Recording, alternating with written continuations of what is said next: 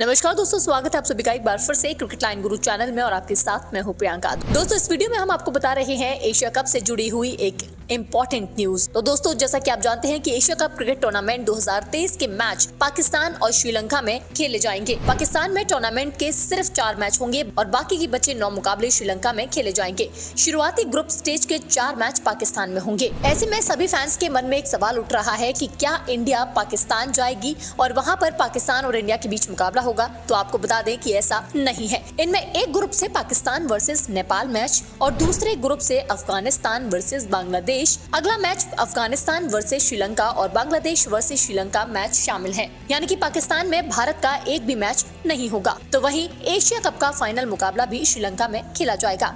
31 अगस्त से 17 सितंबर के बीच होने जा रहे इस टूर्नामेंट के कौन से मैच किस शहर में होंगे इसकी जानकारी अभी सामने नहीं आई है। वेल दोस्तों, श्रीलंका में कौन कौन से मैचेस होंगे, ये भी आपको बता देते हैं। तो श्रीलंका में ग्रुप स्टेज से भारत वर्सेस पाकिस्तान और भारत वर्सेस नेपाल मैच खेले जाएँगे। इसके बाद दोनों ग्रुप से टॉप टू नंबर पर रहने वाली टीमें सुपर फोर में पहुंचेंगी। तो वहीं सुपर फोर के सभी मैच और फाइनल भी श्रीलंका में खेला जाएगा। वेल आपको बता दें की एशिया कप के मौजूदा सीज़न की मेजबानी काफ़ी ज़्यादा विवादों में घिरी रही है। इसके आयोजन का जिम्मा पाकिस्तान को दिया गया था, लेकिन एसीसी प्रेसिडेंट और बीसीसीआई सचिव जय शाह ने पिछले साल अक्टूबर में पाकिस्तान में भारतीय टीम भेजने से इनकार कर दिया था और ऐसे में विवाद खड़ा हो गया था। अब ये विवाद क्यों हुआ, ये भी आपको बता देते हैं। तो दोस्तों इंटरनेशनल क्रिकेट काउंसिल यानी कि आईसीसी के कैलेंडर में 2023 में होने वाले एशिया कप की मेजबानी पाकिस्तान को दी गई। भारतीय क्रिकेट कंट्रोल बोर्ड यानी कि बीसीसीआई ने कैलेंडर जारी होते ही ये साफ़ कर दिया था कि टीम इंडिया खेलने के लिए पाकिस्तान तो नहीं जाएगी।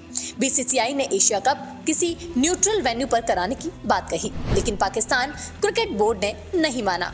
हालाँकि पाकिस्तान ने टूर्नामेंट को हाइब्रिड मॉडल पर कराने का प्रस्ताव दिया था।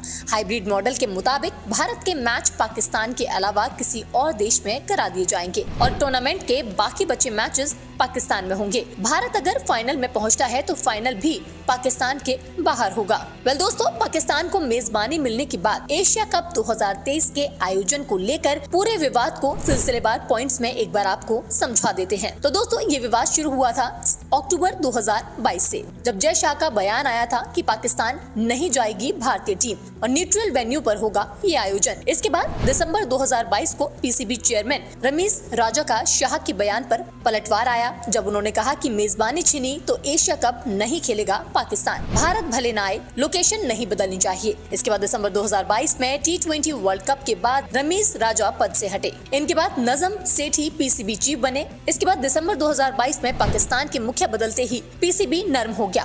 तो वहीं जनवरी 2023 में एसीसी ने कैलेंडर को जारी कर दिया। सितंबर में टूर्नामेंट के आयोजन का ऐलान हुआ। जनवरी 2023 की ही बात करें तो कैलेंडर लॉन्च होने पर फिर से विवाद हो गया। पीसीबी ने कहा, हमें जानकारी नहीं दी गई थी।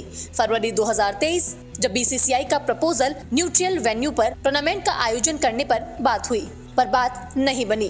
तो वहीं अप्रैल और मई 2023 में पीसीबी ने एसीसी को हाइब्रिड मॉडल का प्रस्ताव भेजा, जो कि मान लिया गया। और अब एशिया कप का जो आयोजन है, वो दो जगह पर किया जाएगा, यानी कि पाकिस्तान और श्रीलंका। लेकिन भारतीय टीम दोस्तों, पाकिस्तान एशिया कप खेलने के लिए नहीं जाएगी। तो फाइनली दोस्तों, इतने विवादों के बाद एशिया कप का कैलेंडर जारी हो चुका है और फाइनली ये बात सामने आ चुकी है कि पाकिस्तान में कितने मैचेस होने हैं और श्रीलंका में कितने मैचेस होने हैं। दोस्तों, भारत के पाकिस्तान जाने को लेकर हुए इतने ज़्यादा विवाद पर आप सभी का क्या कहना है? और आप कितने ज़्यादा एक्साइटेड हैं भारत और पाकिस्तान के इस बड़े मुकाबले को देखने के लिए? अपना जवाब नीचे कॉमेंट सेक्शन में ज़रूर बताएँ। तो दोस्तों, इस खबर में फ़िलहाल इतना ही। अगली वीडियो में आपसे होगी फिर मुलाकात। तब तक लिए आप देखते रहिए cricket line guru so stay tuned and keep watching